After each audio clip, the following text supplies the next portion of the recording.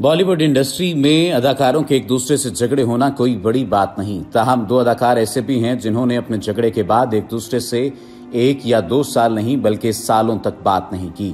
یہ دو اداکار شاہ رخ خان اور سنی دیول ہیں جنہوں نے ایک ساتھ انیس سو ترانوے کی کامیاب فلم ڈر میں کام کیا تھا۔ اس فلم کی شوٹنگ کے دوران ان دونوں کے درمیان جھگڑا ہوا، جس کے بعد ان دونوں نے ایک دوسرے سے کوئی رابطہ نہیں رکھا تھا۔ آج کی اس ویڈیو میں چند ایک ایسی ہی لڑائیوں اور جھگڑوں پر بات کی جائے گی اور ساتھ ہی ساتھ بالی ووڈ کے مکرو سیرے پر بھی روشنی ڈالی جائے گی۔ ان دونوں کے جھگڑے کی وجہ بھی کوئی نہیں جانتا کیونکہ ان دونوں اداکاروں نے کبھی اس مسئلے پر کھل کر بات نہیں کی۔ تاہم، اتنے سالوں بعد اداکار سنی دیول نے اپنے ایک انٹرویو انٹرویو میں شاہ رخ خان سے ہوئے جھگڑے کی وجہ بتائی۔ اپنے انٹرویو میں باسٹھ سالہ اداکار کا کہنا تھا کہ ہم فلم ڈر کے دوران ایک سین کی شوٹنگ کر رہے تھے جہاں شاہ رخ کو مجھ پر خنجر سے حملہ کرنا تھا۔ اس سین کے متعلق میرے اور فلم کے ہدایت کار یش چوپڑا کے درمیان بحث ہو گئی۔ میں نے انہیں سمجھایا کہ میں فلم میں کمانڈو آفیسر بنا ہوا ہوں۔ میرا کردار بے حد فٹ ہے تو پھر کیسے ایک لڑکا مجھ پر اتنی آسانی سے حملہ کر سکتا ہے؟ مجھے یہ سین خاصا پسند نہیں آیا۔ سنی دیول نے مزید بتایا کہ یش چوپڑا اور شاہ رخ خان دونوں فلم کے سیٹ پر مجھ سے ڈرتے تھے کیونکہ وہ جان جانتے تھے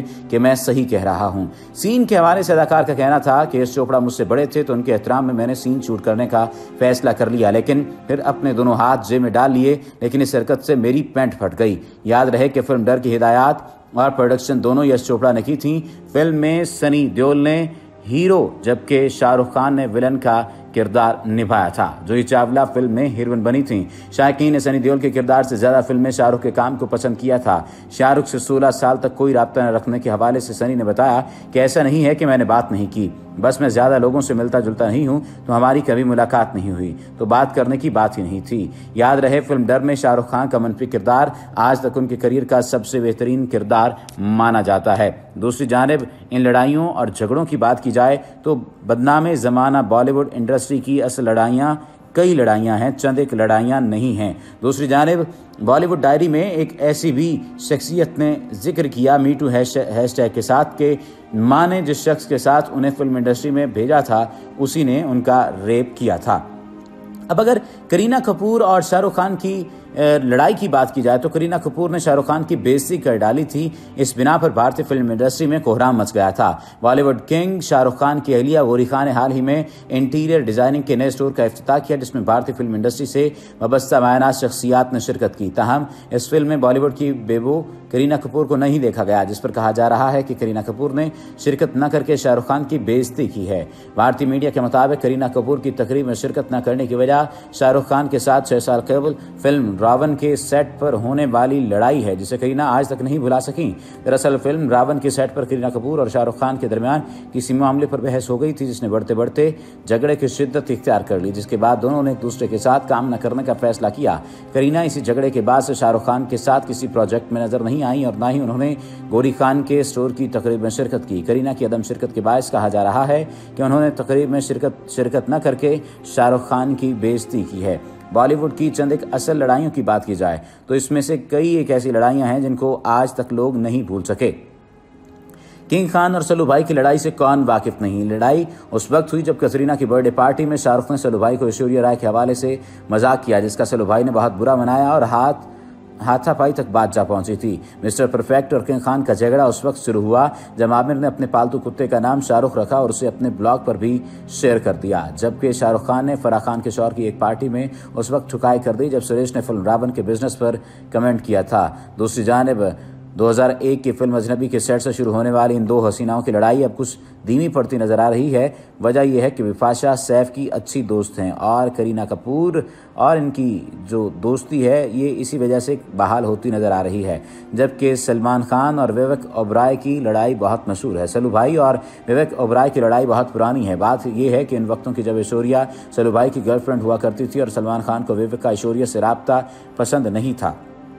اس لیے سلو بھائی نے ویوک کو دھمکی آمیز فون کالز اور پیغامات بھیجے جسے ویوک نے میڈیا پر شیئر کر دیا تھا۔ دبیکا پڈوکون اور کترینہ کیف کی لڑائی کی کوئی اور وجہ نہیں، بلکہ بالی ووڈ کا پلے بوائے رنبیر کپور ہے۔ کترینہ کو اس بات کا بھی دکھ ہے کہ ان کو دپیکا سے فلم یہ جوانی ہے دیوانی میں ریپلیس کیا گیا۔ یعنی کترینہ پہلے موجود تھیں، لیکن اس کے بعد دپیکا کی وجہ سے انہیں ریپلیس کر دیا گیا تھا۔ ایشوریا اور سونم کی لڑائی بھی کسی سے ڈھکی چھپی نہیں ہے۔ ایشوریا اور سونم کی لڑائی اس وقت شروع ہوئی جب ریڈ کارپٹ پر ایشوریا وکٹوریا نے سونم کے ساتھ چلنے سے، اس لیے انکار کر دیا کہ سونم نے ان کو کسی میگزین انٹرویو میں سینئر آنٹی ایکٹریس کہہ دیا تھا، اور کرینہ کپور اور امیشا پٹیل کی لڑائی بھی بہت پرانی نظر آتی ہے۔ کرینہ اور امیشا کی لڑائی کی اصل وجہ، فلم کہو نہ پیار ہے کو دونوں کبھی بھی دوست نہیں رہی تھی لیکن یہ سر جنگ تب شروع ہوئی جب کرینہ نے یہ فلم کرنے سے انکار کر دیا تھا، اور بعد میں یہ فلم بہت مقبول ہوئی اور مختلف کیٹیگریز میں بالی ووڈ کی سب سے زیادہ ایوارڈ پانے والی فلم بھی بن گئی تھی۔ چند ایک ایسی اور بھی لڑائیاں ہیں جن کے بارے میں یہ بات کہی جاتی ہے کہ ان لڑائیوں کا ذکر کرتے ہوئے تمام لوگ صرف اور صرف چپ ہی ساتھ لیتے ہیں۔ لیکن اس کے ساتھ ساتھ کچھ ایسے لوگ بھی ہیں جو کہ ان لڑائیوں کو اور ان تمام تر وجوہات کی وجہ سے خاموش رہتے ہیں۔ بالی ووڈ ڈائری سے اگر ایک واقعہ شامل کیا جائے جس کا پہلے ہم نے ذکر کیا کہ فلم نیا دور میں دلیپ کمار اور ویجنتی مالا کے درمیان ڈیزی ایرانی کو دیکھا جا سکتا تھا۔ گزشتہ صدی کی پچاس کی دہائی میں نیا دور اور دھول کا پھول جیسی فلموں سے بطور چائلڈ آرٹسٹ اپنا فلمی کیریئر شروع کرنے والی ڈیزی ایرانی نے اس ہفتے اپنی زندگی کے ایسے دردناک پہلو پر روشنی ڈالی جو آج کے دور کے ان والدین کے لیے آنکھیں کھولنے والی حقیقت ہے، جو اپنے چھوٹے چھوٹے بچوں کو گلیمر کی دنیا کا حصہ بنانا چاہتے ہیں۔ ڈیزی نے بتایا کہ ان کی ماں نے فلم ہم پنچھی ایک ڈال کے شوٹنگ کے لیے انہیں مدراس بھیجا تھا۔ اس وقت ان کی عمر چھ سال تھی۔ ان کی ماں نے جس شخص کو سرپرست بنا کر ان کے ساتھ بھیجا تھا، اسی نے ہوٹل کے کمرے میں ان کا ریپ کیا۔ میٹو ہیش ٹیگ کا حصہ بنتے ہوئے انہوں نے بتایا کہ ان کی والدہ ہر قیمت پر انہیں مشہور اداکارہ بنانا چاہتی تھیں اور انہیں آؤٹ ڈور شوٹ کے لیے جس شخص کے ساتھ ان کی ماں نے تنہا بھیجا تھا، اسی شخص نے ان کا ریپ کیا۔ ڈیزی کا کہنا ہے کہ اس شخص نے انہیں دھمکایا کہ اگر کسی سے شکایت کی تو جان سے مار دوں گا۔ حالانکہ کچھ ماہ بعد ڈیزی نے اپنی ماں سے اس واقعے کا ذکر کیا، لیکن اس کا کوئی نتیجہ نہیں نکلا۔ ڈیزی اپنے زمانے میں چائلڈ سپر چار کہی جاتی تھیں۔ اس دور میں ڈیزی کو دھیان میں رکھ کر ان کا کردار لکھا جاتا تھا۔ ان کی کامک ٹائمنگ اور اداکاری کا لوہا مانا جاتا تھا۔ ڈیزی کی یہ دردناک سچائی والدین کے لیے ایک سبق ہو سکتا ہے۔ اب فلم اور ٹیلی ویژن انڈسٹری میں بے شمار بچے مختلف کردار نبھا رہے ہیں اور جب بھی ان بچوں کو انتہائی سنجیدگی کے ساتھ اپنے کرداروں کو نبھاتے ہوئے دیکھا جاتا ہے تو سوچا یہ جاتا ہے کہ یہ بچے اسکول کب جاتے ہوں گے اور کیا شوبز کی اس جگمگاتی دنیا میں ان بچوں کی معصومیت برقرار رہے گی؟